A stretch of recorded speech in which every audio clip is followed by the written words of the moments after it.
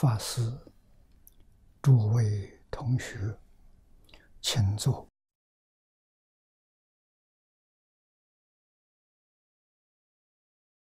请看《大经课注》第七百九十三页，七百九十三页第一行，从第一句看起。上知是善，均是是善。啊，前面我们学习的这一段注解，啊，舍善业道，这是世间善法，净业三福里面。第一佛所说的，三福，第一是世善，第二呢小乘善，第三呢是大乘善，啊，这敬业三福，报恩论学，凡是善行，皆可往生。这一句话。含的意思非常深广，世间善法多，不一定是佛法。换一句话说，所有一切善行、具足善行的人呢，都有可能往生。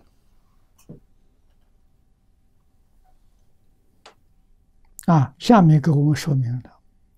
但必常常念佛回向，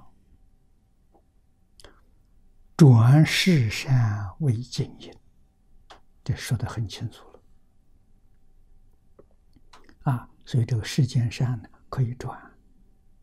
我们将这个世间善的功德，啊，回向给西方，求生净土。啊，如果不回向。就变成世间人天福报。如果这一转变呢，这是极乐世界凡圣同居土，那个里头也有三杯酒品。故佛说诸经总结是善。无论是大乘经、小乘经，常常啊，把这个实善、孝亲尊师、伦常大道，佛都代说。说而此是善业，且特为专经啊，十善戒经，专讲十善，十善业道经啊。以经深三口四一三主业，这个经是清净啊，教导我们身清净、口清净、意清净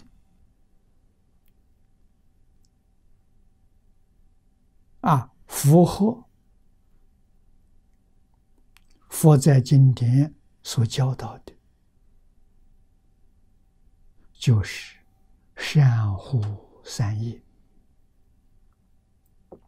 为修持根本，所以这个重要啊！大乘、小乘，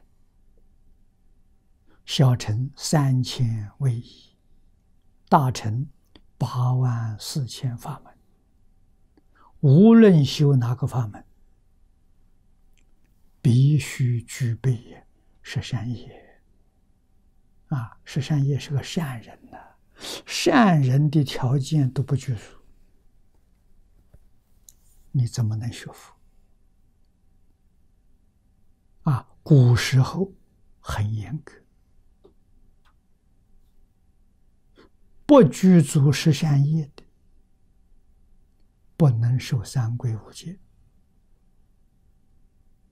啊，受三归五戒，一定具足十善业，也就是敬业三福第一条做到了，才有条件求受三归五戒。现在没有了，啊，想受就受，啊，师傅就传给你。是真是假？没人再过问了啊！所以佛法怎么衰的，我们一定要知道啊！我们要想拯救佛佛法，让佛法再兴旺起来，这就晓得从哪里做起，从十善业做起。那十三业从哪里做起？十三业要从《弟子规》做起。我们现在十三业为什么做不到？没有《弟子规》，没有感应篇的基础。如果有见识，《弟子规》感应篇的基础，十三业很容易做到。啊，那是真佛弟子！我们现在自称为三宝弟子，甚至于出家了，受了大戒了。说实在的话，佛承不承认都是问题。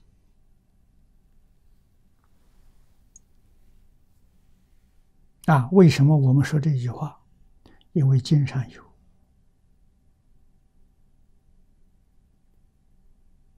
啊，经里面佛说，佛子。不先学小乘，后学大乘，非佛弟子，他他就不承认你啊！劣等呢？我们今天这个也是劣等呢。小乘不修，就修大乘啊，这是劣等的。但是古来祖师大德把儒根道代替小乘。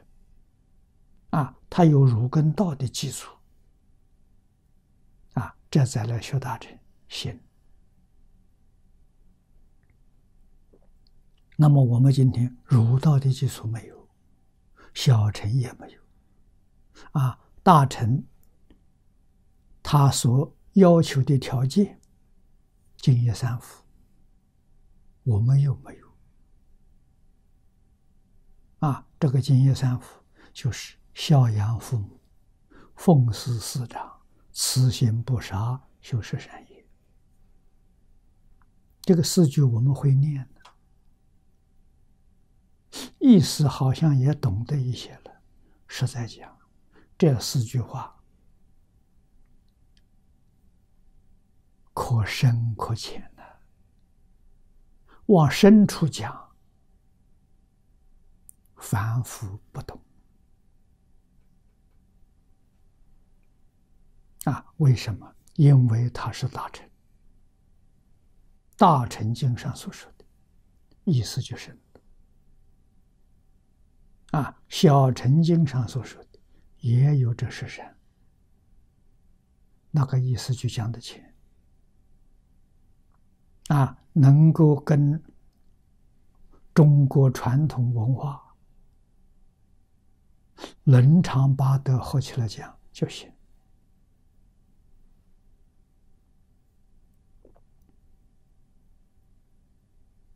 啊！可是，在大乘，我们看一看，沙弥律仪赠助啊，这祖师大德讲的意思就深了。为什么？大乘在起心动念之处啊，正是所说的《小乘经》。小乘戒律，论事不论心，容易持；大乘戒律是论心不论事，很不容易受持。这是大乘比小成高，就高在这里。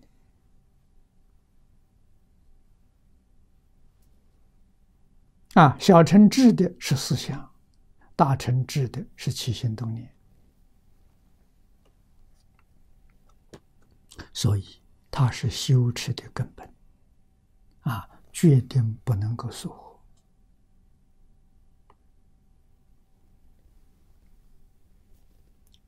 下面第二段，昼夜一念，啊，看经文。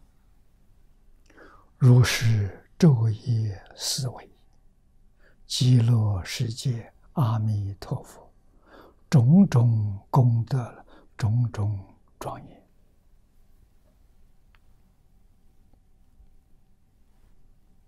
那么这一句经文，实在讲，就是一部往生论。天亲大师。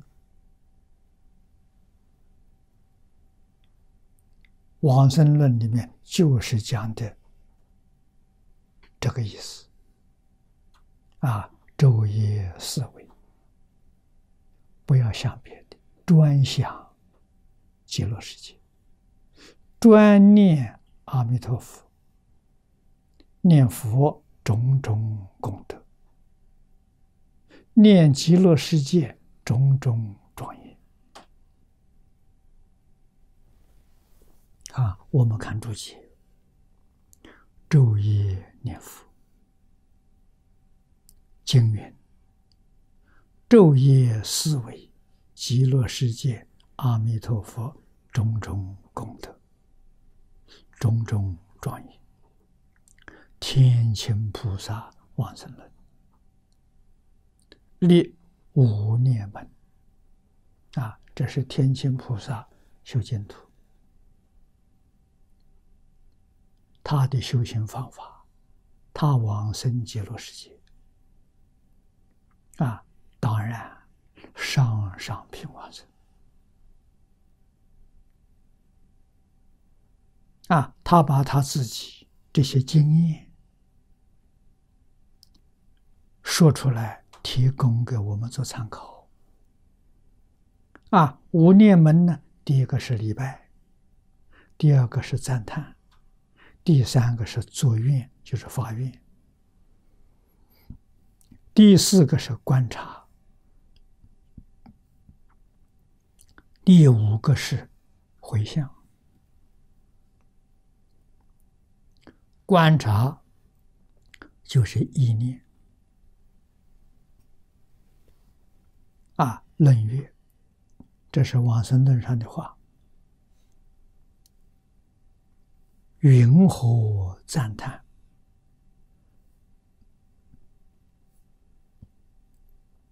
怎么赞叹？口业赞叹。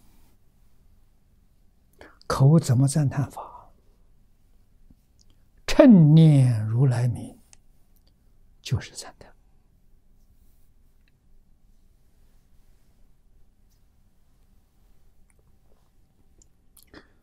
南无。阿弥陀佛，这是赞叹。佛的名号是后下面四个字，上面南无是赞叹。啊，南无是皈依的意思，归命的意思。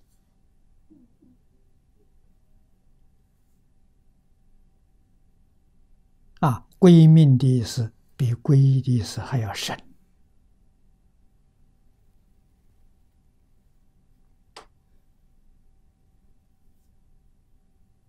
啊，真正求往生，像莲池大师所说的，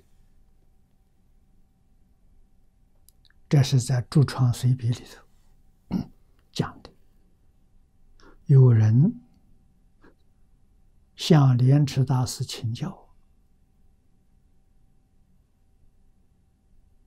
啊，说你老人家教人念佛了，你怎么个教法？大师说。我教人念佛念南无阿弥陀佛。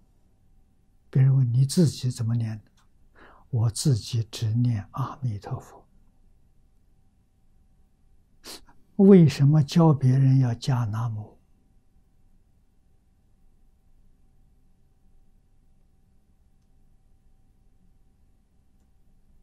啊莲池大师说我真心切愿，这一生唯一的方向，目标呢，就是往生极乐世界。经上讲，智持名号，名号是阿弥陀佛，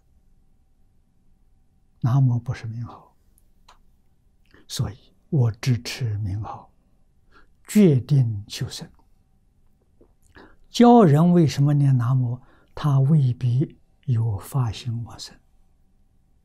那加个南无，跟阿弥陀佛结缘，啊，皈依阿弥陀佛，啊，未必他求往生。原因在这个地方，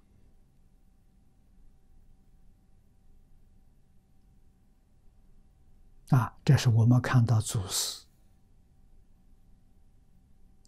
啊，他的想法，他的做法。如果我们决心求生，这个念字越少越好啊，越简单呐，越是简单就越管用啊。啊，你看六个字，省了两个成四个字，啊，越简单越好。特别是在临命终时，啊，这个时候太多了不行啊。古人讲啊，念经不如念咒，咒短；念咒不如念佛，啊，佛比咒更短。啊，阿弥陀佛这四个字一句，在经中之经，精华里面的精华。所以口业赞叹啊，称彼如来名。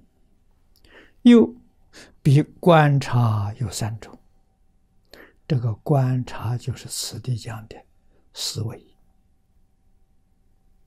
啊，昼夜思维。观察有三种，何等三种？一者观察彼佛国土庄严，这就是一报。十七种。二者呢，观察阿弥陀佛庄严功德有八种。三者观察彼诸菩萨庄严功德有四种，总共二十九种。啊，一部往生论呢，就讲这二十九桩事情。经经所云，正是第四观察门。啊，这行经里面所说的昼夜思维，极乐世界阿弥陀佛种种功德，种种庄严。啊，是往生论里头五门里头的第四门观察门，或兼口念。兼口念呢，那就兼第二门。啊，第二是赞叹，如是观察，或赞叹，昼夜相续，故云昼夜思维等等。啊，实在呀，这个五门一门都不能缺。而且五门里头，每一门里头都含摄其余四门。华严经上说：“一皆是多，多皆是一，一多不二啊！”啊，礼拜啊，早晚课我们一定拜佛。这个礼拜。除了定课之外，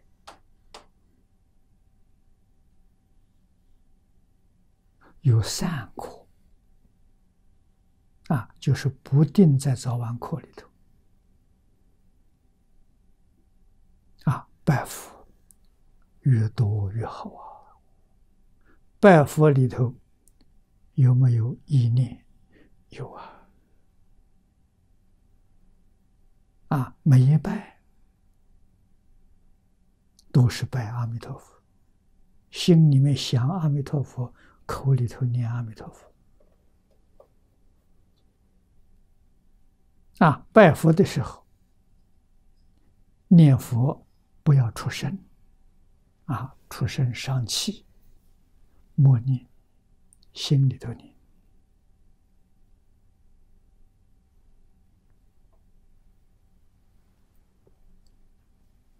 啊，那现在有念佛机，打开念佛机，啊，听听念佛的声音，听着拜，心里头跟着跟着念，口里不出声，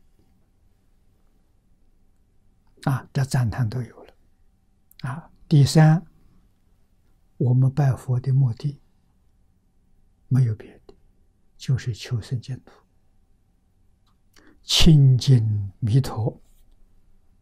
这就是作业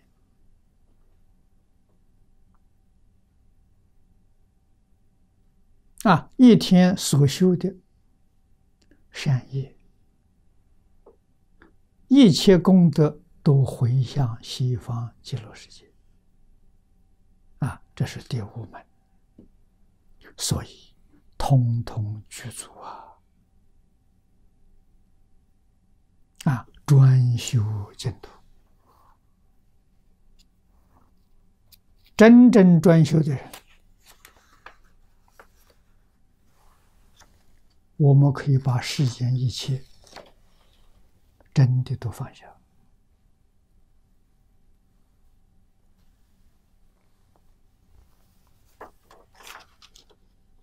啊！是法佛法，一切随缘呐，全心全力。念佛求生净土，啊，大经大论，喜欢的，留着到极乐世界再学，不耽误我眼前的时间。啊，我眼前决定到极乐世界去，这真去得了啊！啊，如果还要兼学其他的，行也行，得有这个因缘，有这个条件，啊，也可以学。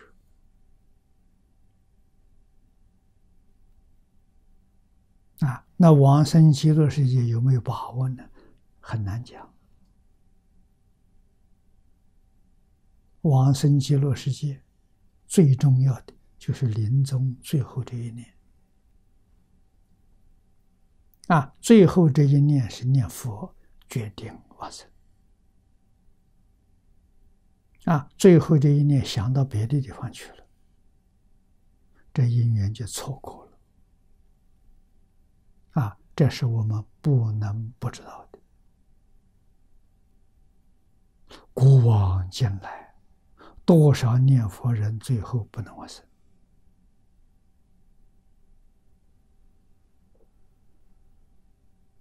啊！不能往生，他们到哪里去了？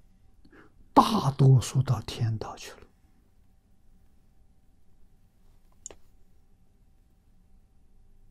啊，欲没有断干净，就是见思烦恼没断干净。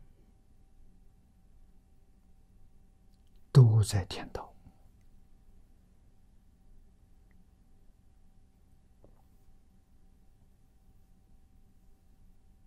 啊！如果对于人间还有情执啊，念佛人投胎了，又到人道来了。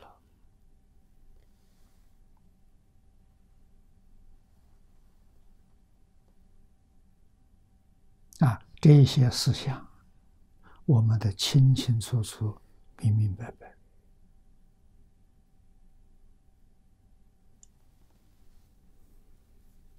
底下一段至心皈依啊，至心皈依，顶礼供养。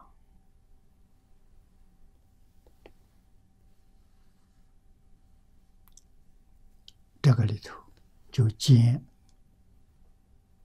回向门了啊！至心皈依，顶礼供养是第一礼拜门，《论语》云何礼拜？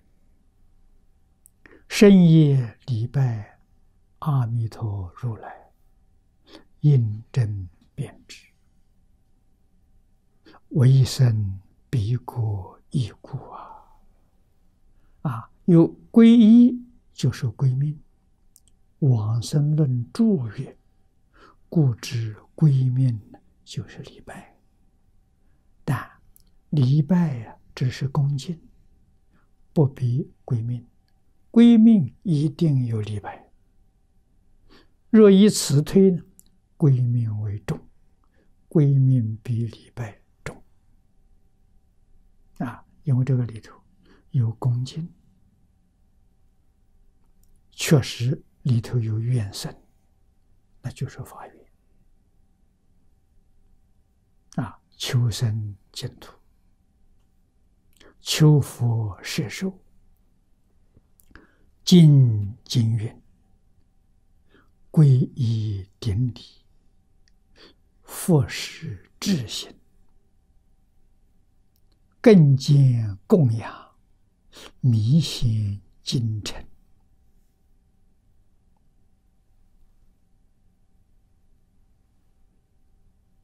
啊，智心也可以做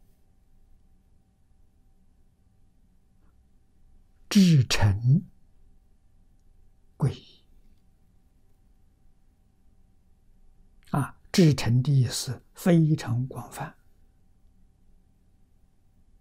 那么，敬宗的至心，至是你的愿望，愿望就是求生净土，就是亲近弥陀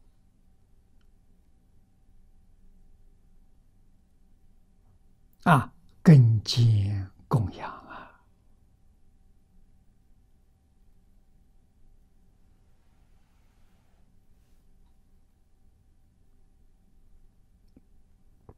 供养就是深夜礼拜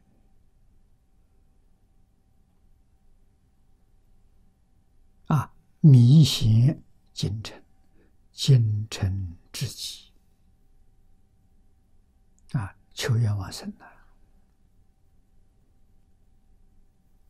前面是想的修因，后面呢叫妙果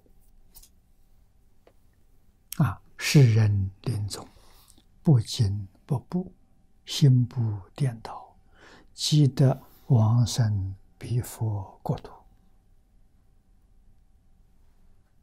啊，这一种修行方法，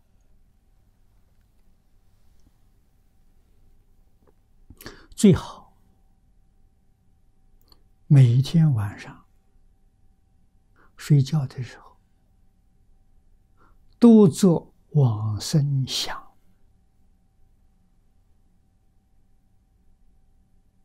啊？为什么？这个经上所说的“不惊不怖，心不颠倒”这两句话非常重要。人到临终一怕死就完了，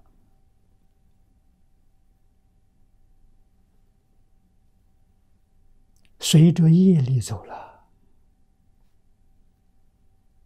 念佛功夫全用不上啊！啊，这就是念佛念一辈子，临终不能往生，这样的人非常之多。我初出家的时候，在台北圆山灵济寺，啊，这个寺院里面。都是福州人，啊，法师福州人，信徒统统是福州人，啊，信徒他们有一个念佛会，每一个星期天就在寺庙里头，啊，这个大殿他们要用一天念佛，念佛会在念佛，这一些居士都是这个到寺庙的护法，啊，那个时候寺庙经济来源很差。没人供养啊，所以这些在家居士、出家人看作衣食父母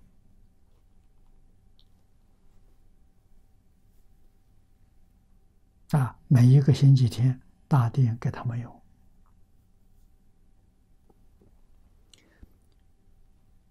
这个念佛会的会长林居士。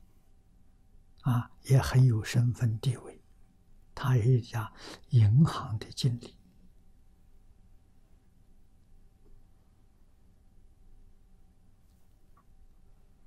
对佛法通啊，不是不通啊，而且法器巧得好。啊，星期天念佛会，他做为诺，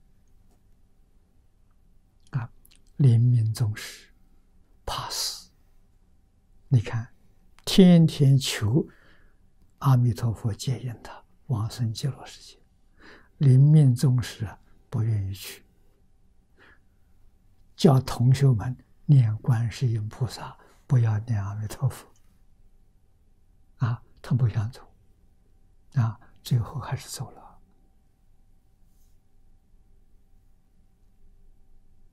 我们当时看到这个现象，很惊讶了。一生求往生，最后怎么不愿意往生？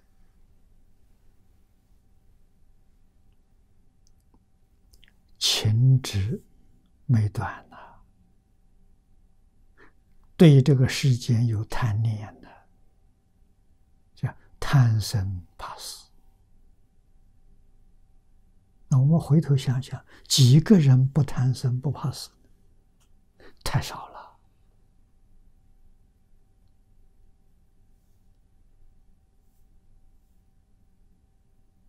啊！所以平常每一天我都做往生想，躺在床上，今天就往生了。明天早晨起来，哎呀，我又成愿再来了，要做这种想法。啊，养成一个习惯，不惊不补。啊，这个说起来容易，做起来很难。啊，心不颠倒，正念分明。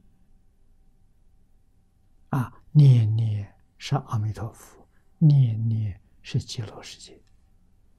啊，这《往生论》里头，这个。五门说得好啊，啊，五念门说得好啊。我们看注解，哎，注解就是引用往生论的。往生论云：“若善男子、善女人，你看这有个善，这善什么意思啊？具足十善业道。”啊，才成为善男子、善女人，修无念门行成就。你看，修无念门，条件是善男子、善女人。如果没有实善，这个无念门修的是形式，实质很难讲。如果具足十善业，修无念门，那又是指啊！能修无念门行成就，毕竟得生安乐国土，见彼阿弥陀佛啊！肯定阿弥陀佛来接引你。每一个往生的人。都得到阿弥陀佛来接引。阿弥陀佛要不来接引，你不知道极乐世界在哪里啊？你去不了。妙音甘苦啊，无念门是妙音呐。往生极乐世界见阿弥陀佛，这是妙苦。是故临命终时，蒙佛本愿加为啊，佛发四十八愿，这个四十八愿加持你。叫慈悲加佑，令心不乱，这一句要紧。因为《弥陀经》里头，罗什大师的翻译有一心，一心不乱的功夫不容易得到。如果用这个标准，往生的人就少了。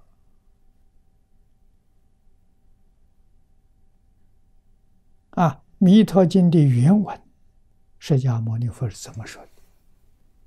不是一心不乱，是一心细念，就是一心想念的意思。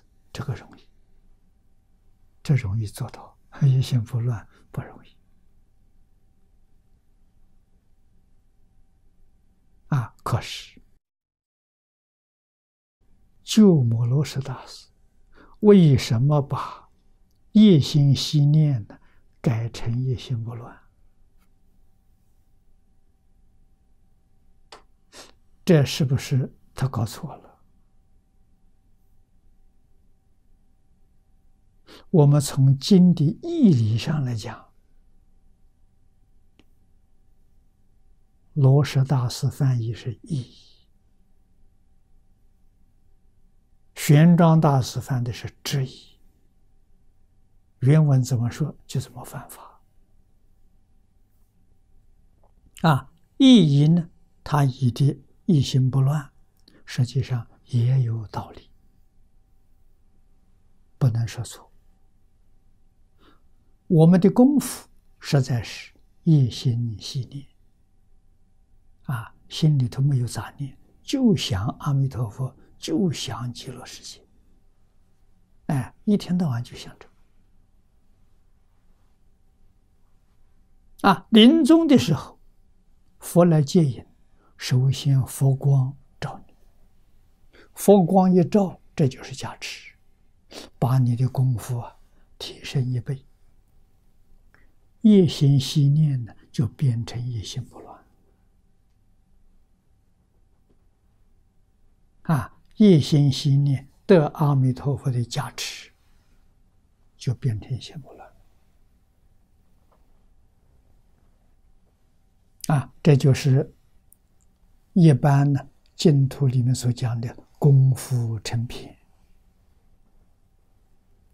啊，是念佛三昧最低的一个境界。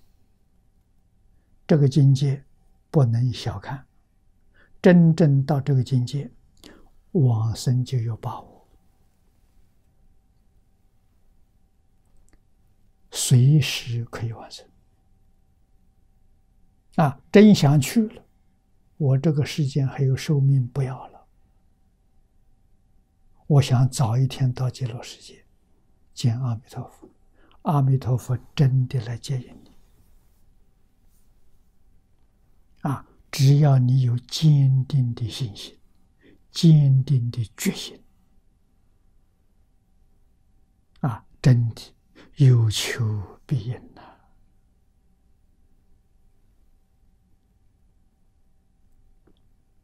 这些例子，古时候有，现在也有。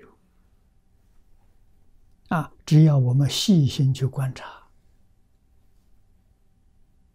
你就能见到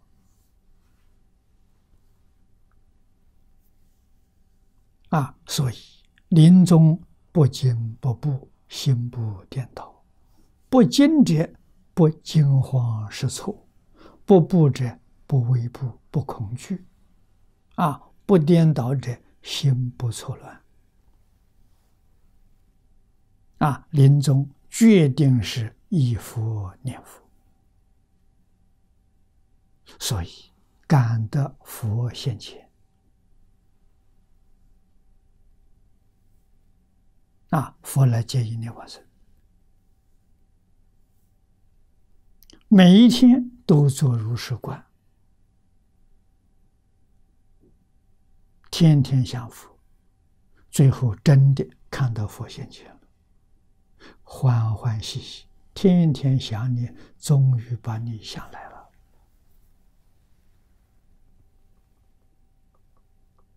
这往生了。啊，所以对这个世间呢，没有丝毫留恋，在这个世间每一天随缘度日。啊，这是祖师教导我们的，一丝毫都不强求。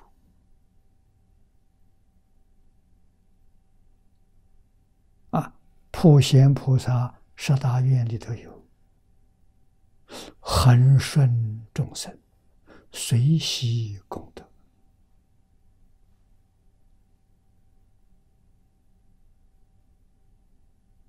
啊！守住一个原则，就是令一切众生生欢喜心，做出一个好样子给大家看。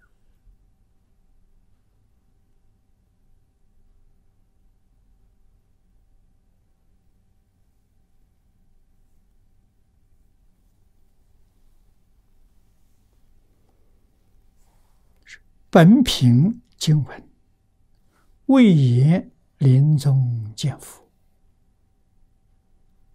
但既得往生，则佛必然来迎。因佛本愿呢，临终接引。若无佛言，则凡夫自立了，不能往生。啊，今不言者。这经文里头没有说佛来接引，以此品专论因行，故不多说往生之果境。啊，佛来接引是往生的果境。啊，这里所以。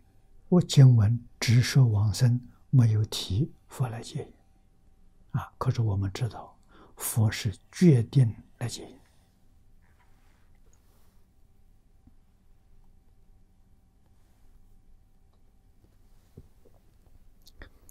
下面这一大段，忙里偷闲，正念得生。啊，这个对于一般生活繁忙。又不能不做工作，为了养家糊口，啊，必须呀要努力工作，啊，那他能不能念佛求生净土？能。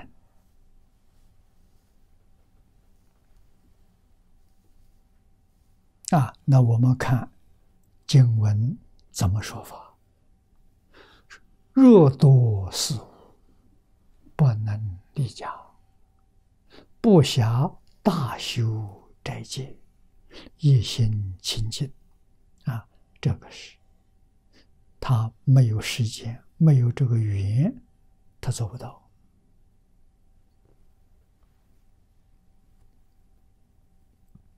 啊！可是下面说呢，有空闲时，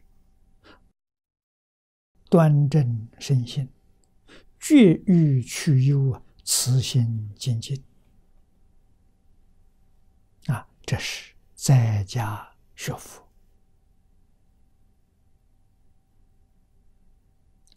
在有空闲的时候，他就修。怎么个修法呢？这十二个字：端身啊，端正身心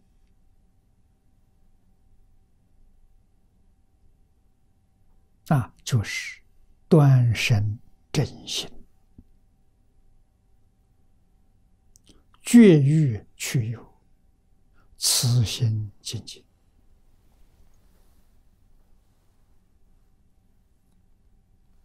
我们看注解，右面第三类，工作繁忙的人啊，有两句。第一个，修行事善；第二个，忙里偷闲，正念得生。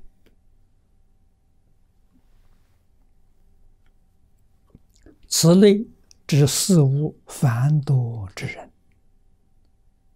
平素啊暇时很少，就是他有空闲的时间很少，未能大修斋戒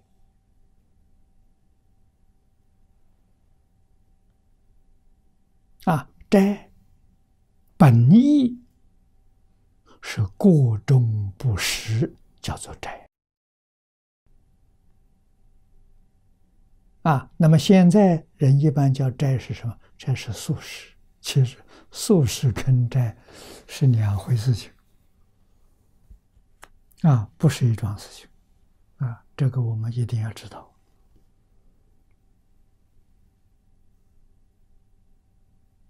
啊，斋是一定在日中之前，日中之后就不吃东西了。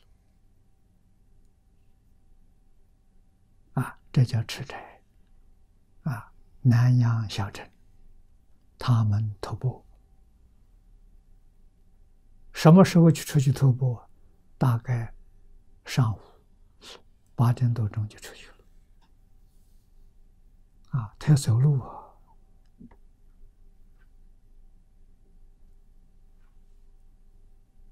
啊，所以居住的地方。世尊在世，都是住在山林。这个山林立城城镇不会太远，太远徒步不方便。啊，一般大概呢是三里路、三四里路这样的距离。啊，三四里路啊，大概相当现在的两公里。走半个小时，啊，来回也走一个小时，是这样的距离，这是徒步最方便的，啊，佛选择呢，一定选择这样的，这个这个距离，啊，托钵时，人家给什么吃什么，没有选择。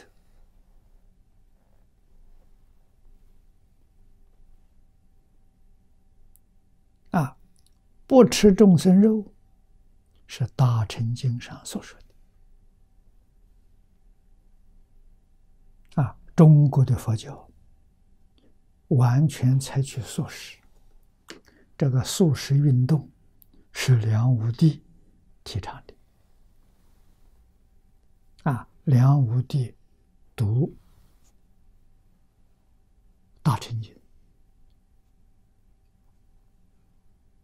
啊，读到经文，菩萨慈悲，不忍心吃众生肉，所以他就改成素食。啊，那么他是佛门大护法，经过他一提倡，好，出家人就响应了。啊，所以全世界的佛教，只有中国出家人吃素。外国学佛的啊，我们就到近邻，韩国没有，日本也没有，啊，越南是学中国大臣的，可能还有，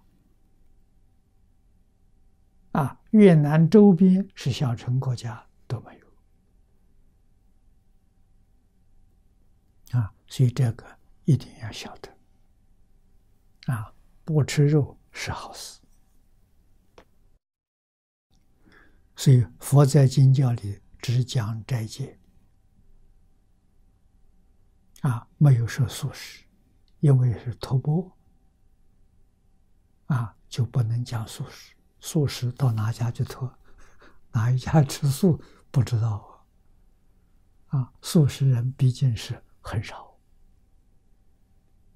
啊，所以佛有三斤肉。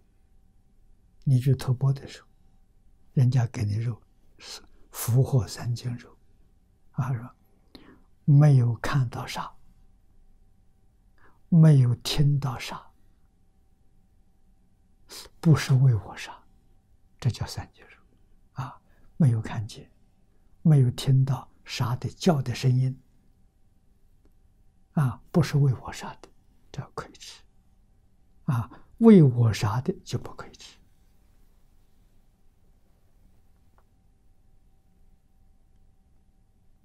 啊，这个一一定要晓得。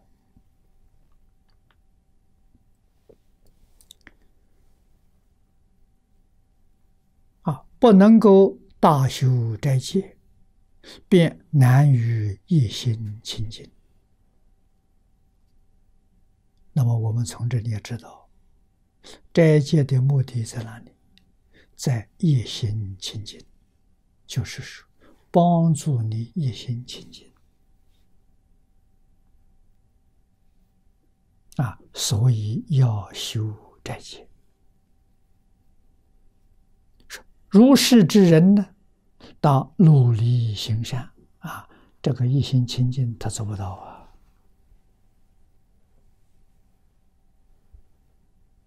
啊，持戒修斋呀，他也很困难的啊。那么这样的人呢，应当努力行善，善的标准就是是善，生活。不离十善，工作不离十善，待人接物不离十善，这叫做行善。啊，起心动念、言语造作，十善是标准，决定不能够违背，并且忙里偷闲。啊，善则时己，他有一点空闲，他就真干了。欲言即修，不是空过，以定得往生。啊，因为他身有障碍，有很多工作，啊，但是他心里面确确实实是清净。啊，对象对敬重法门，他真心、真愿往生。啊，得空就真念佛。啊，你看这个地方，我们能够体会到，啊，这一类的人，忙里偷闲的人，他不能用真心，他用善心。啊，跟前面所说的一样，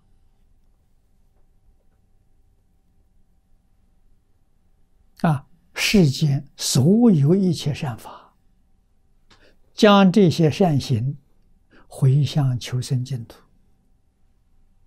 也能完成。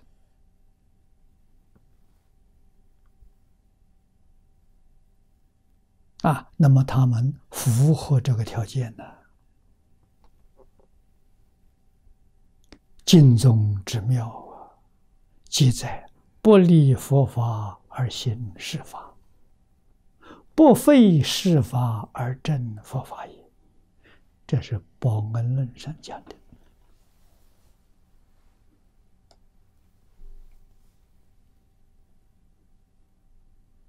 啊，所以净土法门戒淫众生呢，非常广大。啊，上面到等觉菩萨。下面到地狱众生，只要遇到，决定有好处。啊，经论不多，在一切法门里头，净土经论最少。啊，原本。只有三经一论，那么现前祖师大德加了两样进去，变成五经一论，分量还是最少的。啊，这个五经里面，印光大师加进去的，大师至菩萨念佛圆通章，只有两百四十四个字。啊比《般若心经》还少啊！为莫生居士把《普贤行愿品》最后一卷《十大愿望导归极乐》也附在这个三经之后啊，这变成五经啊，还是薄薄的一个小本子。特别适合末法众生呐！啊，末法今天叫知识爆炸，道德沦落，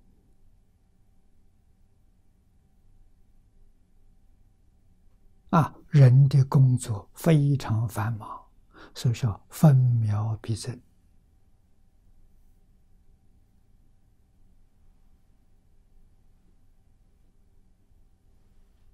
啊，修学一切法门，对他们都有难处。啊，经中就方便了。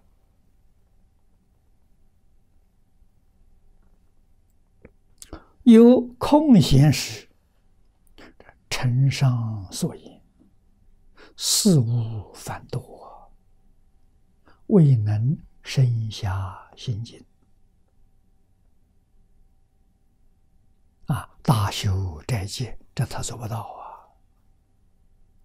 啊！啊，则当善用时机，欲贤即修，平除失虑，勇猛专修。此句有空闲时，是总观下文，一直到。一日一夜啊，不断觉知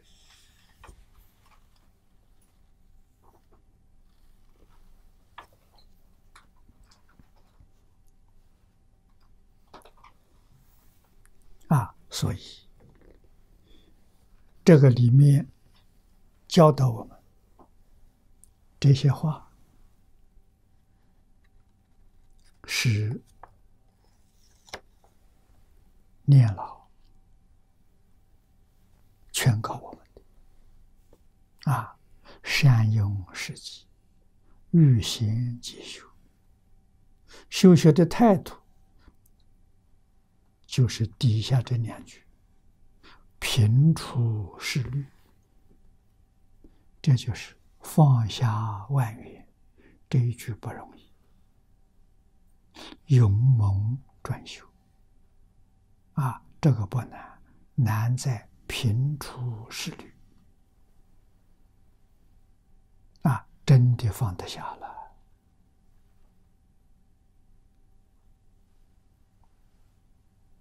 放下，必定是能看破，看破一定要通达经义。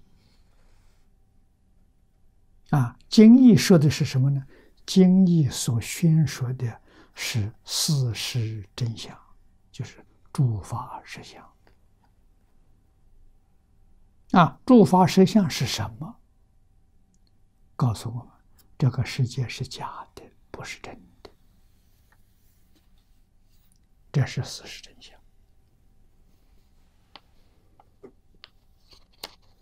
啊，事实真相很难，怎么是假的？每个人都是真的，你怎么说是假的？凭什么说是假的？经上讲的，我们并不清楚。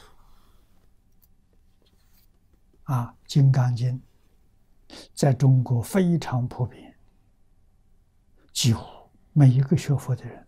没有不念过《金刚经》啊，《金刚经》上告诉我们：“凡所有相，皆是虚妄。”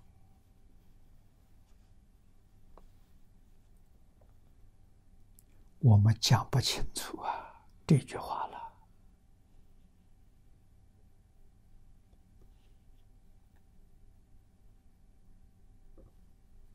啊，佛在经上用个比喻说。一切有为法，有为就是有生有灭的。这有为法，如梦幻泡影啊，如露亦如电，应作如是观。我们也是一文解义也，讲不透啊。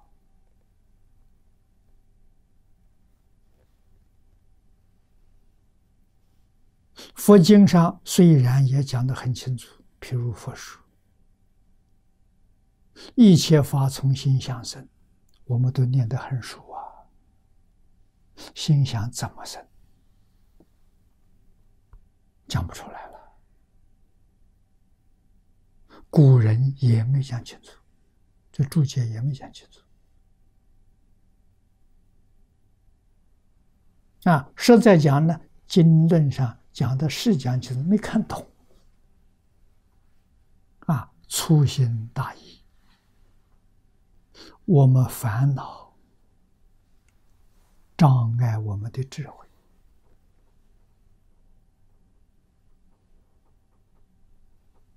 啊，怎么想也不想不通，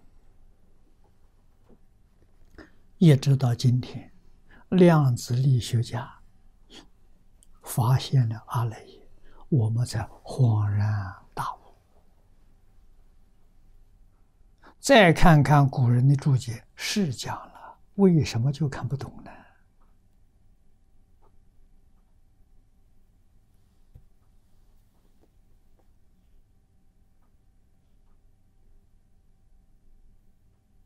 啊，一切法从心想生。我看的科学报告。是德国布兰克博士的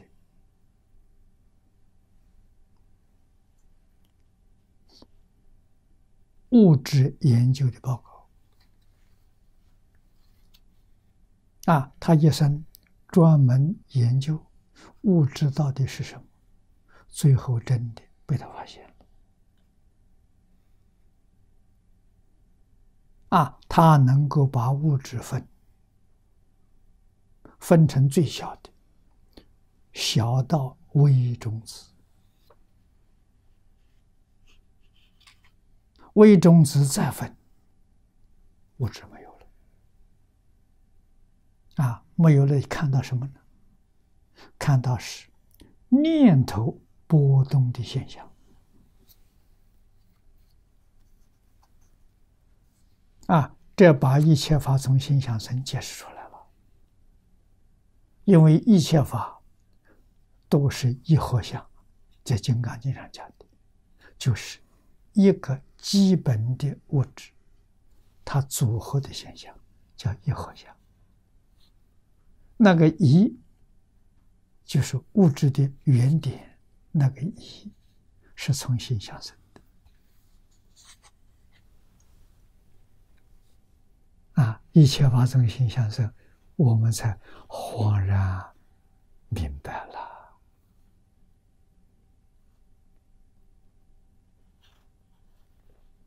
啊！基本的这个物质现象是现象生的，所有一切物质现象，全是这个现象变现出来的，叫一合相。啊，那个变现变现的，那就是分别执着，从分别执着里头变现出来的。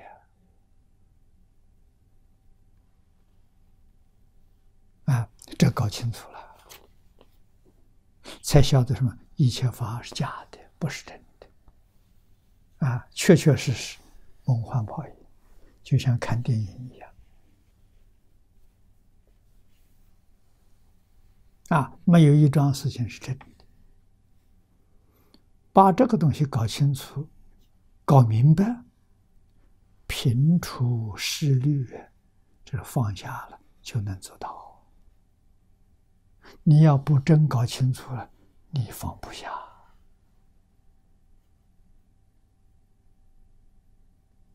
坚固的支柱，他怎么肯放下？啊，真正搞清楚、搞明白了，啊，才真正晓得《般若经》上所说的“一切法无所有，毕竟空不可得”，心定了。定在哪里呢？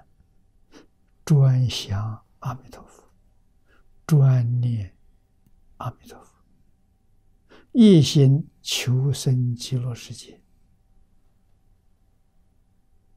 亲近阿弥陀佛，向阿弥陀佛学习。阿弥陀佛是一切诸佛里头的总代表。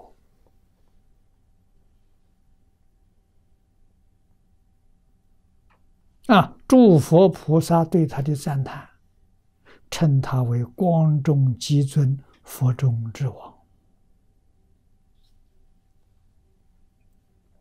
我们有缘能亲近这一位大德，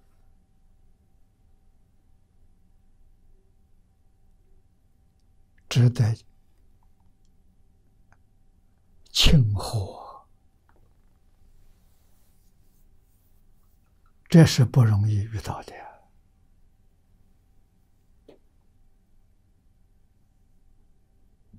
啊！知道的人虽然很多，不是真正认识他，所以那些人没有身心契愿，包括修净土啊。皈依净土的人，他要不是认真明了的话，这个誓愿，特别是亲情，总是放不下。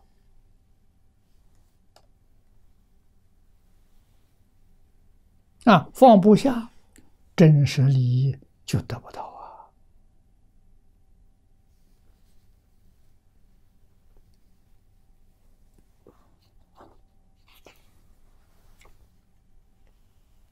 啊，啊是有空闲时，无论在什么时候，能有一点空闲，就放下，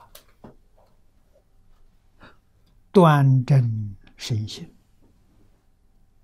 啊，端身正义，啊，就是正心。中国人讲诚意正心。修身齐家啊，但是诚意正心的前面是看破放下，各物就是放下，致知就是看破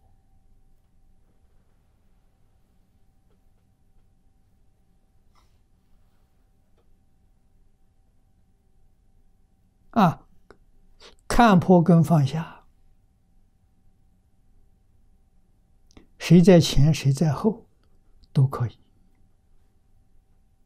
看破帮助放下，放下呢帮助看破。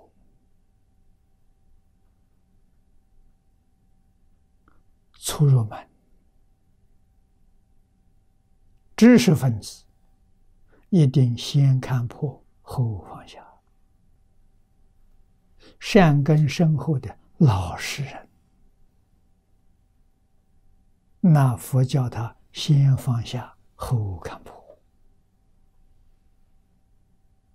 啊，人的根性不相同啊，从哪里入门不一样啊？《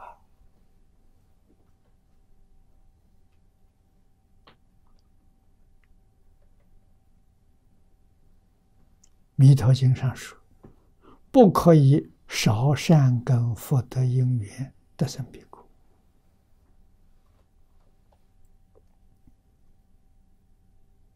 啊！佛法里头非常重视善根福德，善根福德薄的难呐，多善根多福德，从哪里修？就是念佛。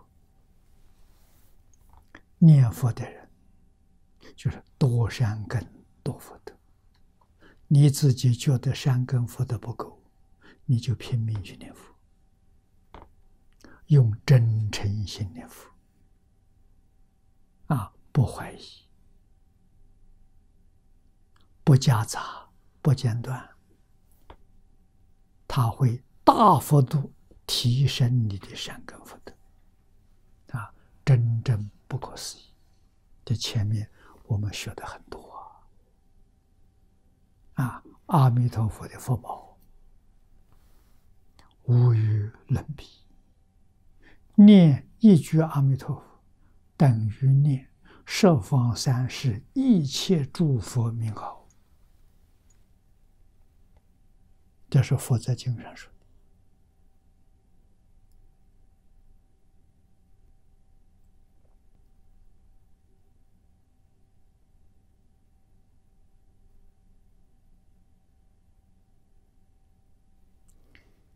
过去，我在台湾出家，台湾的寺院每一年的正月、大年初一开始起香拜万佛啊，念万佛明经，万佛明经，释迦牟尼佛告诉我们。啊，设方诸佛，他讲了一万两千多个佛号，啊，所以过年呢拜万佛，啊，拜设方万佛，大概要拜半个月，两个星期，啊，这个发挥才圆满呢。啊，实际上呢，你念一句阿弥陀佛，全都念到了，哪里值一万两千尊佛？不值啊！佛只是略说而已，举个例子而已啊！东方、南方、西方、北方、上方、下方，举例而说。啊，实际上，十方无量无边诸佛刹土。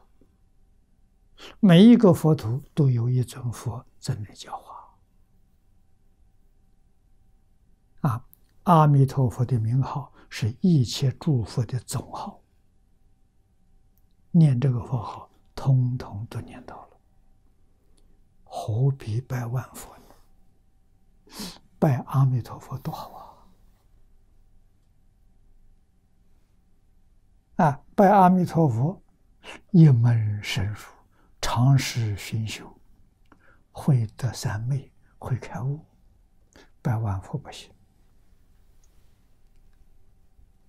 为什么？太多了，拜完了之后都记不得。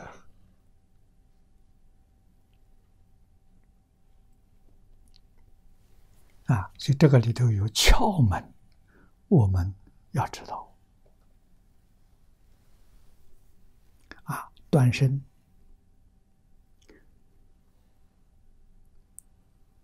身口七支做到了，就是断身。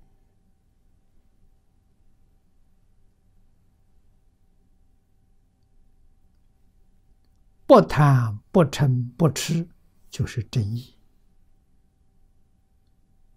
所以，端正身心呢、就是修持善业。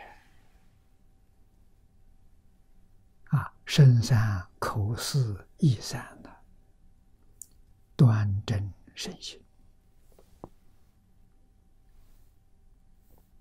诸事卧苦品啊，这是本经经文上说：“汝等能于此事。”这释迦牟尼佛说的。我们能在现在这个世界断心正义，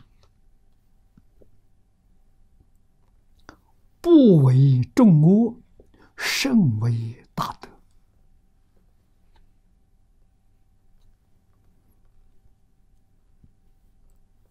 我们要真干呐！啊，这一句话的落实，就是十善业道。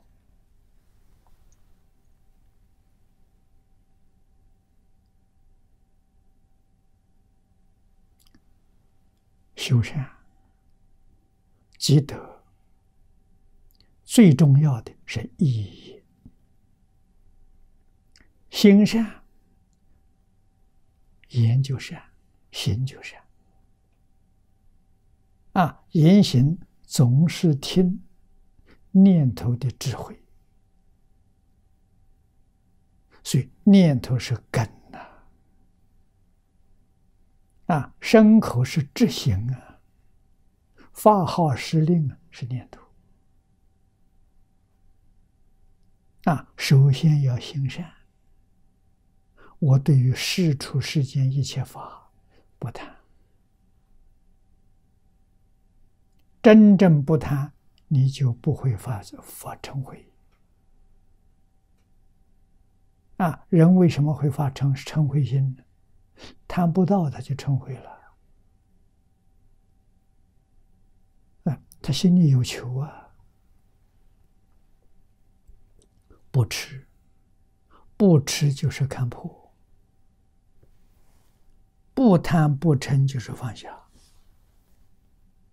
看破放下从这个地方开始，然后身口切之，自然就断我心善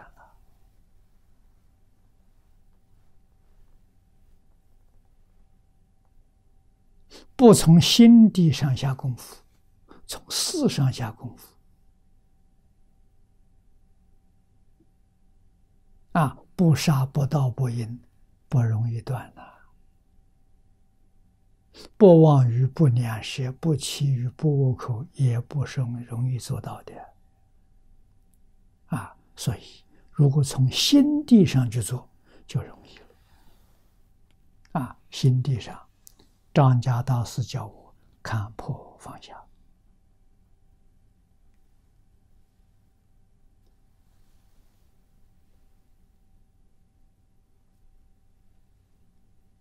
啊，所以这个意业的这个贪嗔痴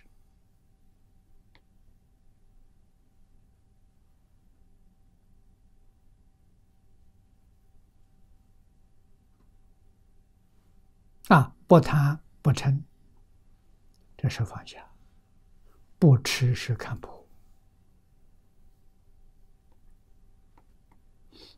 这个人间究竟是什么回事？情搞清楚了，搞明白了。特别是大臣，大臣全讲的是事实真相，所以《大臣经》以什么为体？什么为体？用现在的话说，佛讲《大臣经》根据什么讲的？凭什么讲的？完全凭事实真相，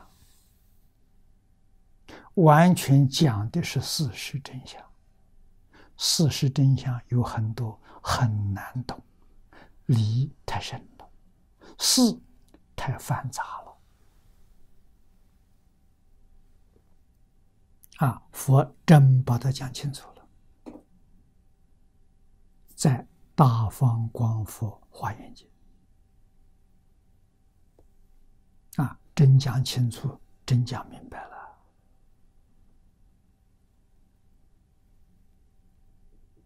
历代祖师大德肯定华严是释迦牟尼佛当年在世所说的第一经，啊，称为根本法轮。四十九年所说的一切经。都是华严的某一个部分，好像华严是个人身、全身。一切经有的讲头，有的讲手，有的讲足，有的讲五脏六腑。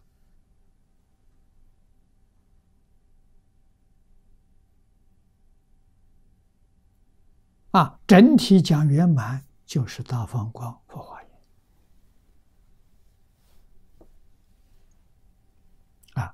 真真的是实相啊，事实真相啊，事实真相了解了，自然放下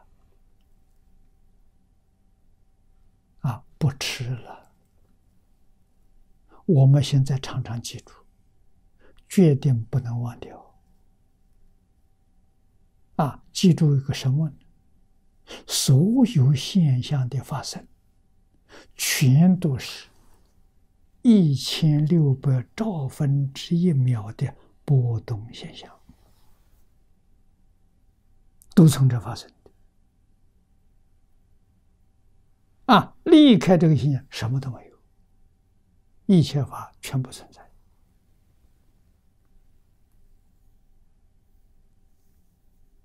啊，今天科学发现叫弦定律。啊，弹琴的弦波动。那个音声是从波动里头产生的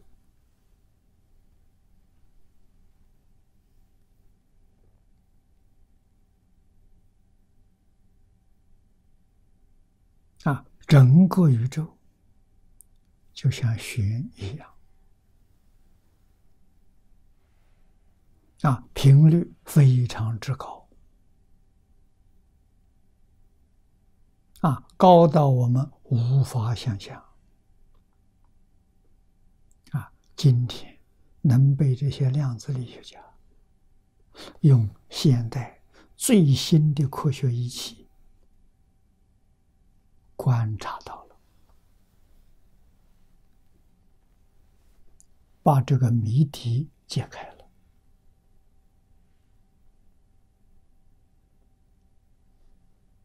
这是宇宙的秘密。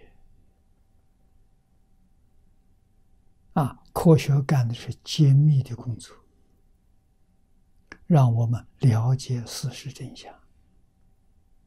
啊，真正真相大白，这个真相不用科学仪器观察，佛说出来了，也说得很清楚，不懂，我们听不懂。啊，我们讲。也讲这个似是而非，为什么自己没有搞懂，怎么能够讲的让别人听懂呢？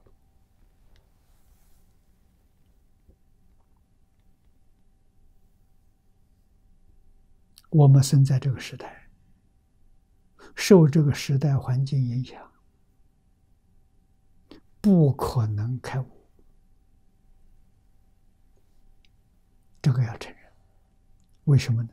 念头太乱了，太杂了，在妄念太多，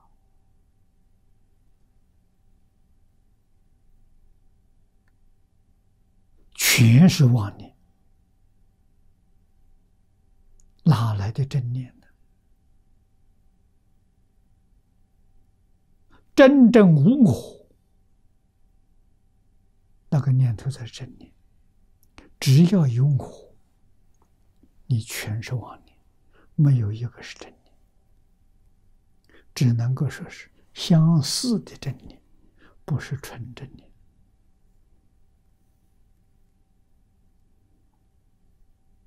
啊，只要有是非人我，但哪个没有？没有一个人没有。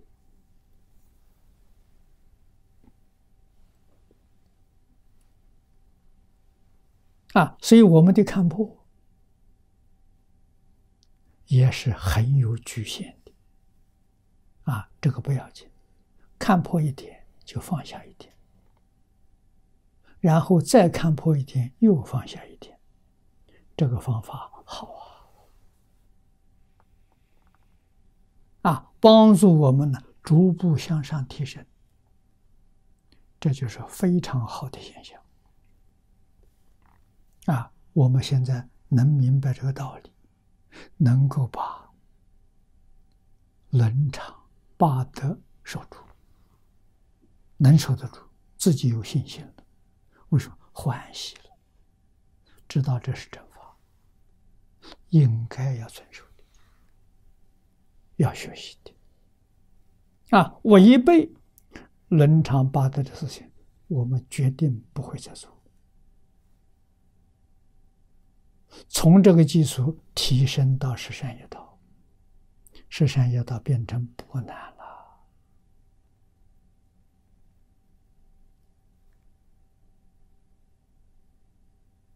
啊，十善业道从哪个地方开始？每个人根性不相同，每个人的语言不一样。啊，那么佛在这个经上教给我们，从口业下手，也很有道理。为什么？一般人造业，口业最容易犯。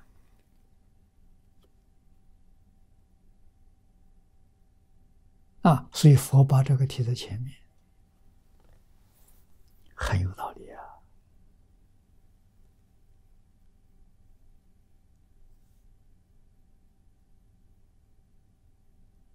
啊，那我的根性，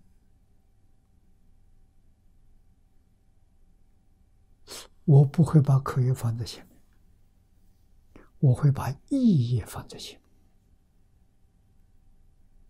啊，把什么？不贪不嗔不痴，我会把这个放弃，从这儿下手。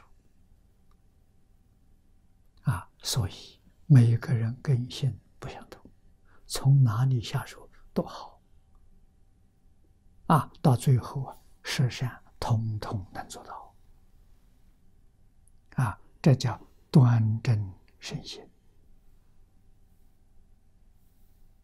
啊，能端正身心，就不为。中我是受我，你不会造受我了。在今天这个世界，你是大德了。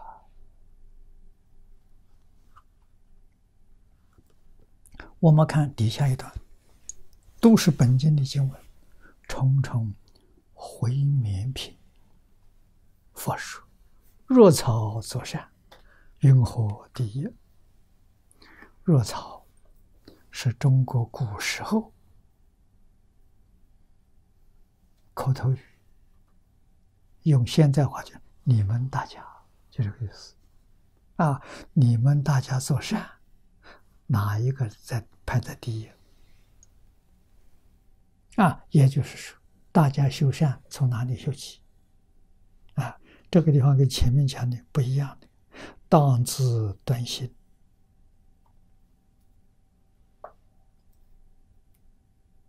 啊，也是从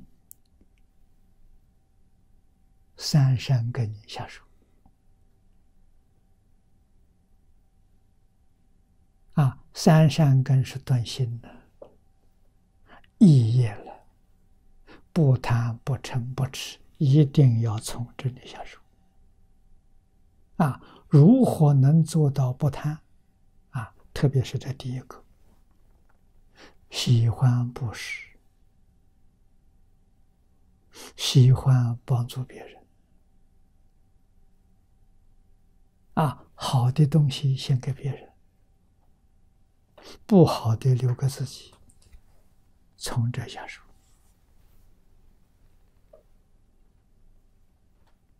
啊，修善积德了，啊，从这下手你就找到根了，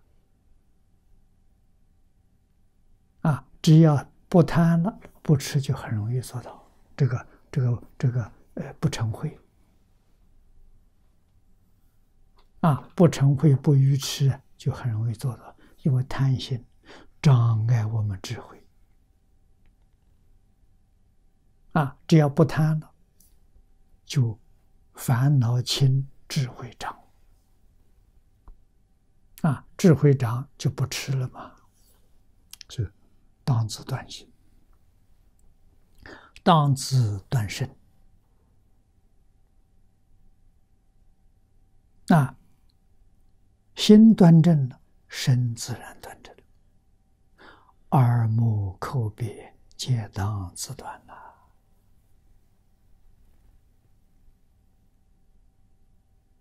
耳不应该听的，你自然不听；啊，目不应该看的，你自然不看。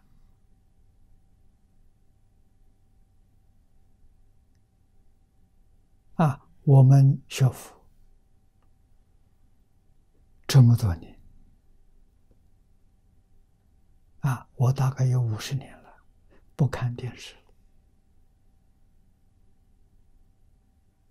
啊，不看过午了，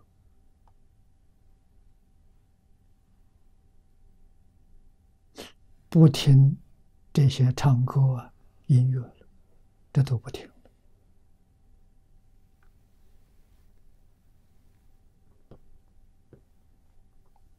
啊，世间这些是是非非就不说了。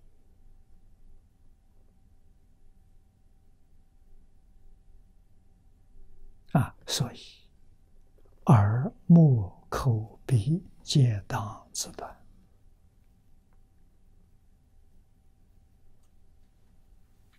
是故欲空闲时，手印呢端正身心也。你看，这真修行，真修行是这样的一个修行态度。啊，空闲时不是胡思乱想。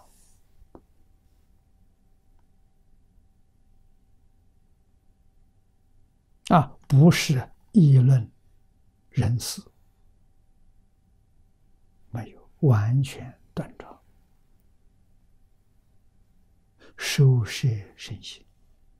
他说：“这个，这收音呢，端正身心，绝于在此期间决断男女间的爱欲，因为一切的。”欲爱呀，这个是最严重的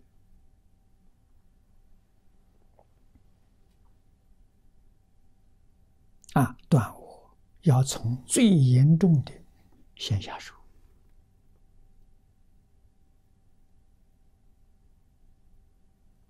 修善要从最难的地方先去做，最难的是舍财呀。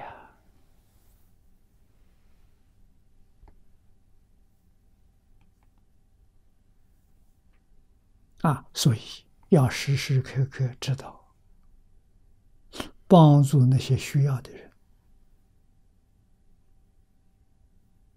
啊，帮助那些受苦受难的人，要用智慧去观察，要用智慧去心思，啊，去有放下世间忧虑。今天世间忧虑非常之多。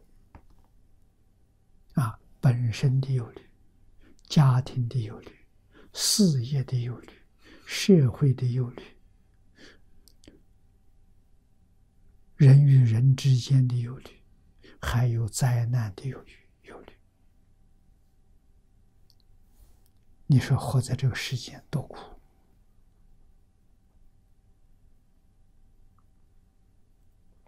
这些东西忧虑有没有用呢？没有用。为什么呢？解决不了问题啊！忧虑能解决问题可以啊，忧虑不能解决问题，那就不当忧虑，要把忧虑放下。为什么呢？忧虑放下，你智慧增长；忧虑障碍智慧，你心不清净了。清净心生智慧，这个一定要懂啊。所以遇到什么样忧虑的事情，暂时把它放下，冷静下来，然后来处理，就非常恰当。啊，慈心与众生乐之心。啊，要带给人乐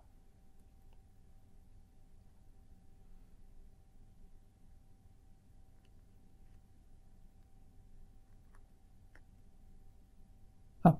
我们举一个例子啊，现在这个社会谣言多。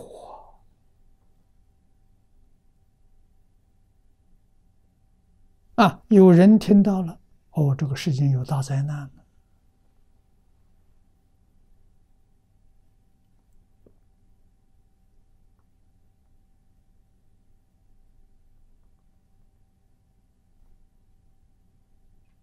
啊，要如何来准备应付灾难？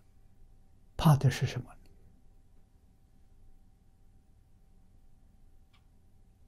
怕的是科学。被灾难毁掉了，啊，电没有了，自来水没有了，现在都住在高楼大厦，这日子怎么过？住的越高，天天要爬山，啊，一桶水的时候，从楼下拍，他楼上几十层楼，都累死了。啊，所以要准备一点水，准备粮食。啊，尤其听说会有几天黑夜，有人说三天，有人说七天，有人说十天都不一定，到底是真是假，等到时候再看。才知道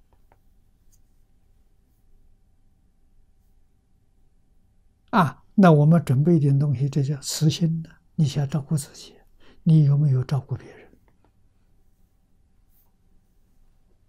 如果真的在灾难那个时候，那个时候什么都没有，最重要就是粮食。你家里藏的有粮食，人家都到你家来了，你要不给，你要不给就杀你。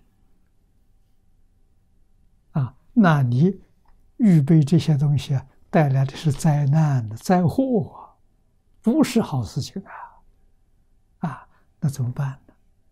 你要准备，我住在这栋大楼，至少我这个大楼有多少户，有多少人口，我准备这个救济东西，我家家都有，个个人都有份，那大家欢喜啊！把你看成活菩萨。你救了我们了，你想的这么周到了，人人都感恩你，就不能为自己啊！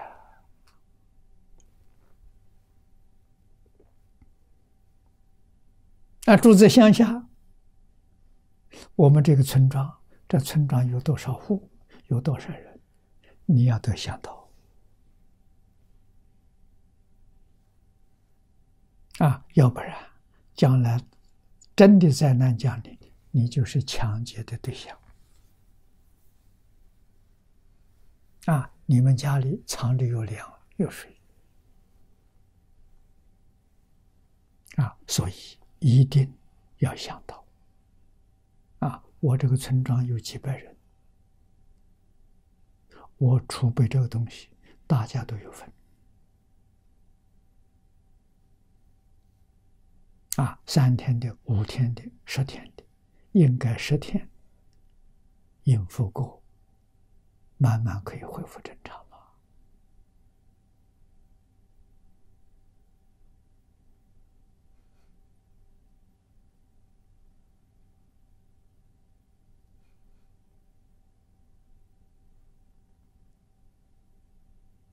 啊，有道场，听到这些信息。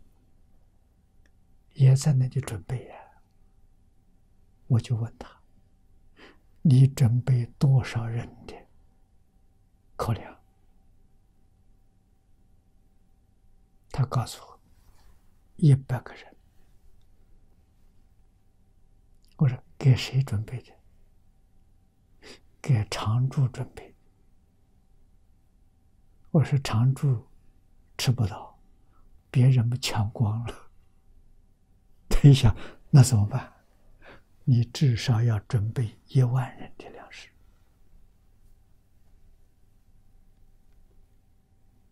啊！到那个时候救灾呀，赈济呀，这就对了。这是慈心的！啊你看到众生有灾难，你就预先有防范，到时候。真正叫大家离苦得乐，决定不能为自己个人，不能为自己一家。啊，你住在公寓大楼，你至少要这一栋公寓大楼通通想到；你住在这个郊外，住在村庄里头，你这一个村一个小镇，你要想到。这就对了。真遇到灾难的时候，你是救世主啊！人家要想害你、保护你的人太多了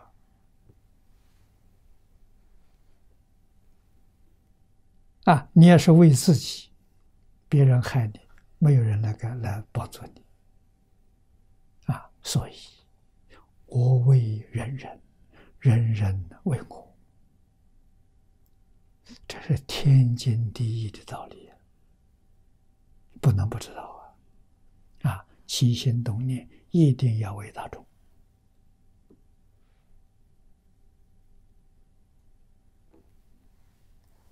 这利益众生的心，坚持修持，是为饶益有情而修。这句话。在先前必须牢牢记住，我是为饶益有情而修，不是为自己。啊，自己所修的一切功德都回向给大众，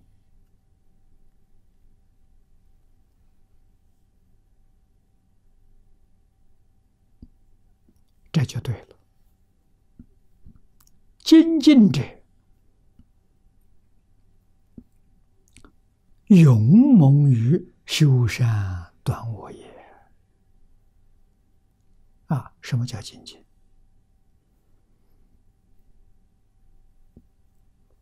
断恶首先要不为自己着想，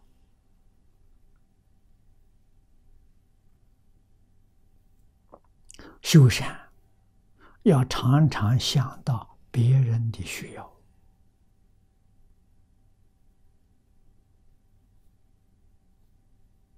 啊，要有智慧，要有眼光，你要看得远，你真的能帮助别人。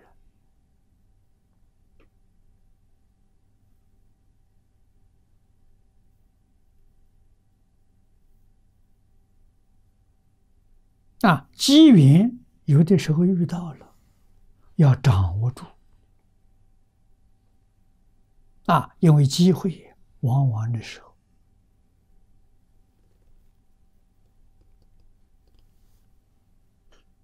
所以一纵就失去了。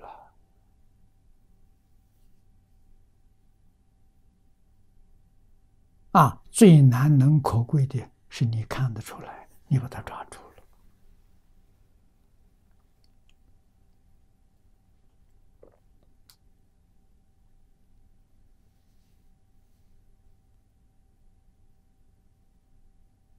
啊，我们十年前，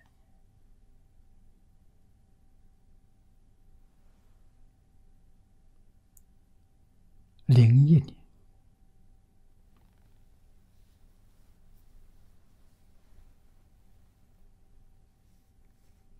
我们在澳洲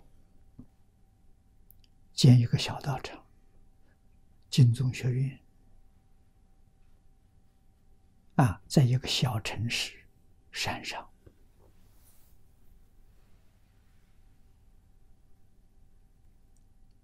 那个时候，山上这个小城居民八万人，人不多，面积很大，啊，所以这小城很可爱。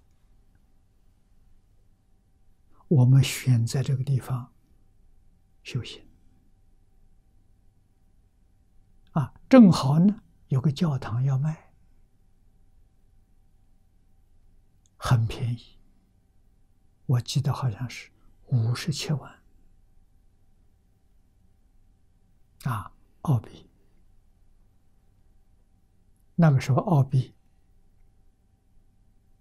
五十七万，大概还只有四十多万美金的，不到五十万美金。那是美金大啊！我们在台湾换钱。澳币那个时候好像换十七块，一块澳币换十七块台湾钱，美金好像是一块换三十块，三十一块的样子，啊，不到五十万呢。这个跟美金比的话，啊，我们买下来。啊，整修过，完全保持原来的样子。从外面看，就是油漆粉刷，啊，焕然一新，一点没改动。里面的只有把十字架换成阿弥陀佛，就这一样不一样。就当地人民很欢喜，我们没有破坏他们的文化。啊，保持他们的文化，这是很高兴的一桩事情。啊，这是跟这个地方结了个好缘呐。啊，开幕这一天，邀请邻居，我们正式发请帖。啊，两条街。啊，我们。右邻两条街，左邻两条街，发请帖，邀请他，因为多最近的邻居嘛，啊，请他们来吃饭，啊，我们有这个午餐接待，啊，中午的时候听我们报告，啊，我们从哪里来，到这儿来。想做些什么啊？让邻居大家知道，那个时候佛教只有我们一家啊，图文巴大概都是信仰基督教的啊，佛教只有这一家。我们接待他很满意啊，这个做法他很满意。那么我们的素食做的还不错。他吃了很喜欢，完了之后，很多人告诉我：“法师，你们这个活动啊，能不能多办几次？这个好事情啊，这这就是机会。他们要求多办几次，所以当时我就跟大家宣布：我们定每一个星期六的晚餐叫温馨晚宴，免费欢迎大家来啊。”对以后每个星期六就完，一直到现在十一年了。所以，我们这个小镇的居民八万人，大概我估计总有十之七八都到我们家来吃过饭，都是我们家的客人。所以，跟群众的关系处好了。得到群众的认可，群众的善意，在那里做干什么事情都方便。啊人民支持我，政府支持我，啊，这就照顾邻居很重要啊！到哪建个道场，不跟邻居打招呼，你邻居不拥护你，你就很难。啊，一定要邻居处得好。我们现在变成这一个小城，每一个人跟我们都处得非常好。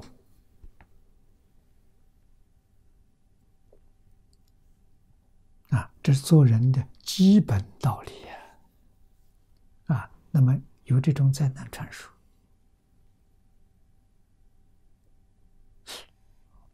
我们家里这些出家人也着急啊！啊，我们在那个地方，我想到我们的生活经济来源，一定要想到啊。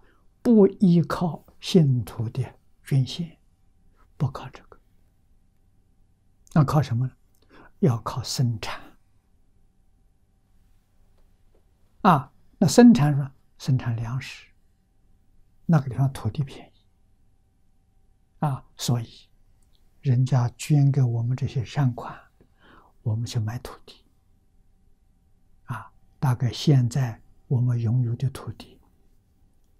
有两千多亿亩，或中国呢一万多亩，一个一亩六个中国亩，两千亩的话，那就是一万二千亩土地，啊，种粮食，我们不会种，我们雇农民种，给工资给他，你能一天八个小时，一天多少钱？我用这个来来雇你，啊，粮食收成。除了自己吃之外，拿去卖，市场卖，卖的价钱很好，付他们的工资还有余的。啊，这样的时候，我们这个道场经济就自给自足，就有来源了。啊，去年我在那个地方，去年春天，第一次收获小米，一万两三千公斤，啊，收这么多。一万三千公斤，啊，我们除自己留了一部分，卖掉之后付工资还有钱，还赚钱，啊，这个样你才有富有啊，不靠人，不花缘的，啊，那么今年呢，要种小麦，种水稻，啊，种玉米，我们的蔬菜，啊，我们自己有大菜园。我们的蔬菜平常可以供养三百人，啊，做法会可以供养一千人，啊，自给自足，啊，这都很重要的，啊，那么要有灾难，我们准备救济、帮助别人的，要帮助多少人？一万人为目标，啊，就是。我们的粮食，啊，我们的这个水资源，要储备准备一万人份，啊，万一真有这个灾难，我们对这个地区可以负责十分之一，这十万人城市，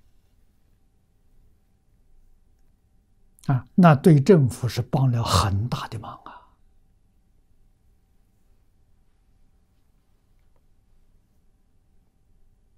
啊，这团结族群，把这个城市变成一家人啊！这是慈心讲的关爱别人